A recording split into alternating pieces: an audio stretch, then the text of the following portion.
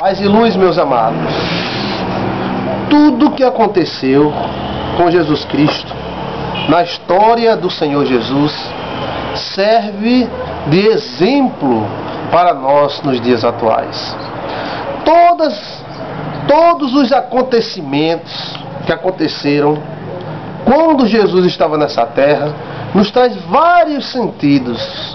Cada um deles nos transmite várias é, filosofias de vida para nós vivermos hoje.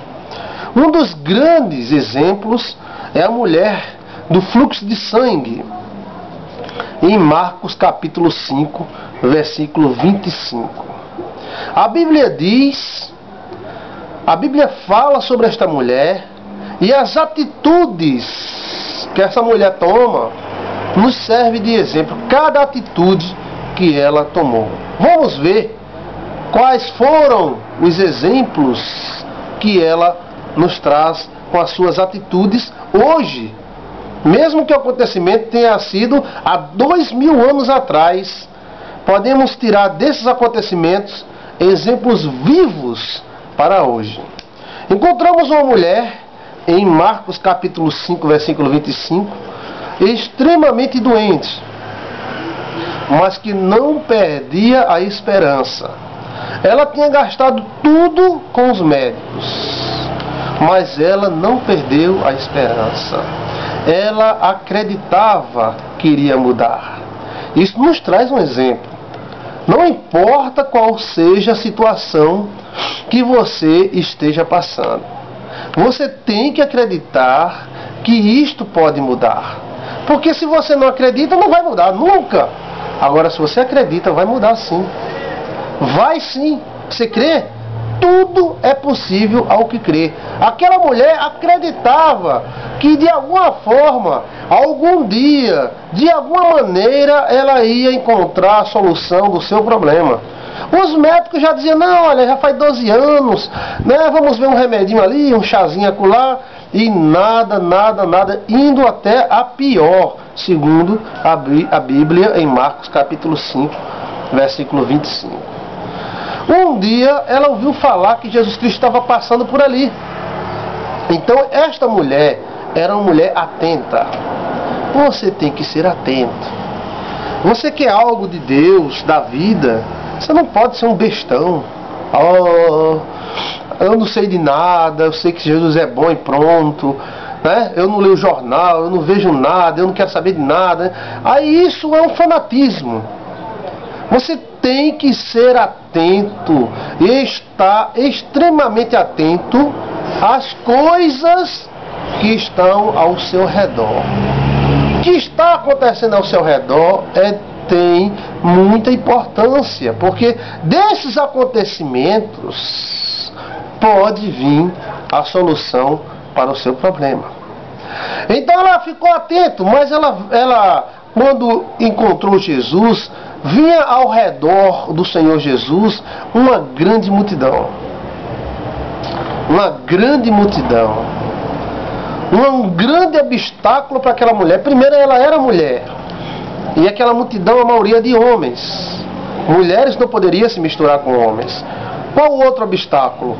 O outro obstáculo é que, segundo a lei mosaica, a mulher não poderia tocar no homem, ela sangrando, ela menstruada ou sangrando. Ou qualquer outra pessoa sangrando não poderia tocar em ninguém.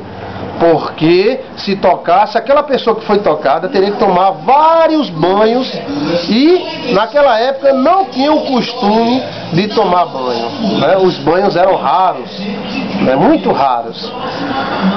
As pessoas tomavam banho uma vez, duas vezes por ano. É coisa incrível, uma cultura totalmente diferente. É diferente dos índios brasileiros que tomavam banho todas as tardes, né? E as pessoas costumavam usar um pano onde eles se limpavam, mas não tomavam banho assim como nós tomamos debaixo da ducha, ou dentro de uma piscina, ou dentro da água. Então tinha na frente daquela mulher um grande obstáculo. Vários obstáculos. Mas ela não olhou para os obstáculos, ela olhou para o Senhor Jesus. Isso é um exemplo tremendo. Você não pode ficar olhando para os obstáculos.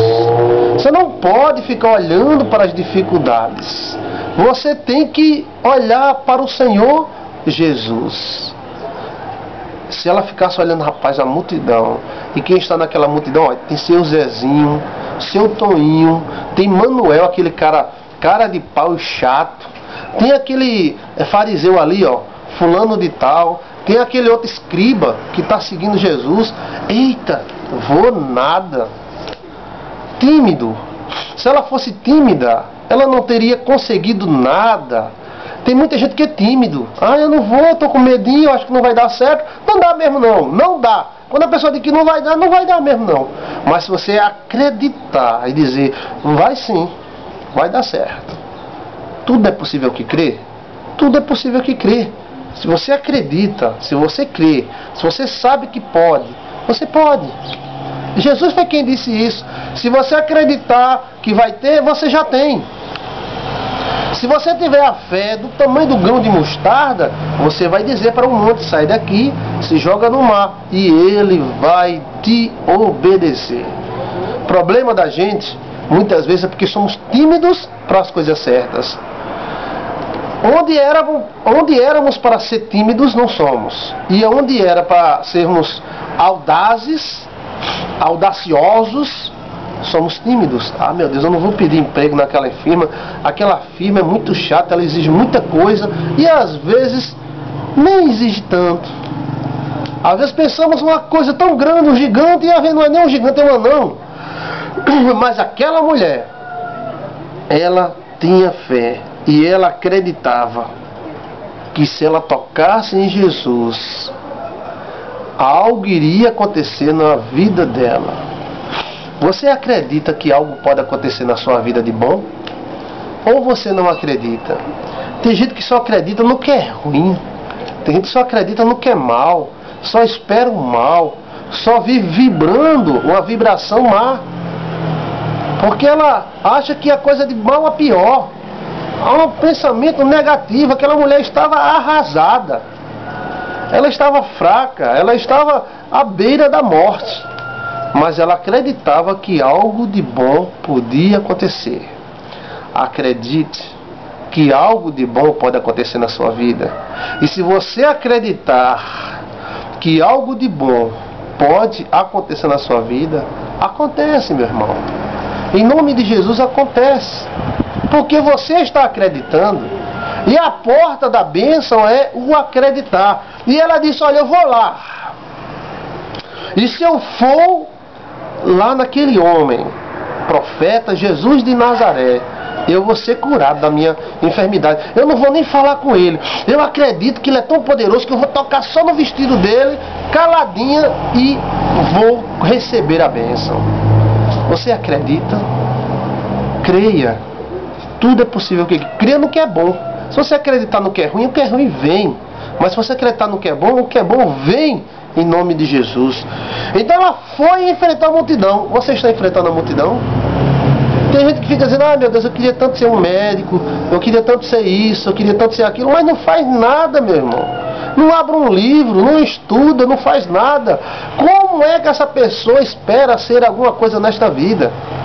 Ó, oh, meu irmão, queria ser um pastor. Pô, vai estudar teologia, meu irmão. Vai estudar teologia. Não espere que Jesus desça do céu e diga, você vai ser um pastor. Não. Eu queria ser uma missionária. Começa a fazer missões. Aonde? Na favela, perto da sua casa. Na sua cidade, procura os piores lugares e vá lá falar com o povo, vá fazer missões, reúna um grupo de cinco, seis pessoas e vá fazer isso. Ou a pessoa fica. Se a pessoa ficar só no desejo, tem um ditado que diz: Quem muito pensa, nada faz. Quem muito pensa, nada faz. Então chegou a hora de agir. E o crente tem que saber agir, o homem de Deus tem que saber agir, a mulher que quer qualquer coisa de Deus tem que saber agir. E a mulher do fluxo de sangue soube disso. Ela disse: Eu vou lá. E eu vou conseguir, eu vou tocar só no vestidinho dele. Você tem essa fé, meu irmão? Se você tiver essa fé, você chega lá. Agora, se você não tiver, coitado de você. Você não vai chegar em lugar nenhum. Ah, eu quero, irmão, quero tanto, irmão, quero tanto. Mas fica só no querer, meu amigo, só na vontade. Se você quer algo, vá atrás e fique pensando como é que eu vou conseguir. A mulher do fluxo de sangue olhou e disse: Olha, como é que eu vou conseguir tocar nesse Jesus? Eu vou por aqui. E ela foi. Você está indo? Você está agindo ou só ora? Não, meu irmão, eu estou indo no ciclo de oração na terça, eu estou indo no ciclo de oração na quarta, estou indo no ciclo de oração na quinta. E os seus objetivos? Não, eu estou indo no ciclo de oração na sexta também. E no sábado eu tenho vigília, eu durmo até é, meio-dia. Então você não está fazendo nada, irmão. Você está orando, orando, orando, orando e não está agindo. É oração e ação. Oração e ação. Ela olhou Será que Jesus não sabia que ela estava por ali? Sabia sim. Mas isso faz parte de uma regra. Isso faz parte de uma lei da natureza, da vida. É a lei da busca. Quem busca, encontra. Então ela precisou buscar. Ela disse: Eu vou lá e eu vou conseguir. Então ela enfrentou a multidão. Enfrente a multidão. O que será esta multidão? Essa multidão são as, são as dificuldades suas limitações. É porque eu sou pobre de Mavé, Mavé, Mavé. Mas você pode chegar lá. Se você acreditar com fé em Deus, você chega lá. E ela acreditou. Olha, se nós soubéssemos o poder que é o acreditar, praticaríamos, faríamos mais exercícios de fé do que fazemos hoje. Tudo depende da sua fé. Se você ter fé, você tem fé, você chega lá. Às vezes o cara não vai nem na igreja, mas tem fé. Ele quer ser um empresário, ele bota uma, bodeguinha, começa a vender ovo, começa a vender pamonha, começa a vender e acaba ficando rico porque ele acredita, meu irmão. Mas o outro fica só dizendo assim: ah, eu queria ser, ah, eu queria ter, ah, eu queria, eu queria, eu queria, eu queria, e não faz nada. Aquela mulher do fluxo de sangue, ela disse: eu vou lá. E ela foi, lá em nome de Jesus, ela foi, foi passando a multidão Passou aquela multidão que ela não podia tocar em ninguém, caladinha. Você sabia que você, para fazer as coisas neste mundo, você precisa ter sigilo. Você precisa silêncio.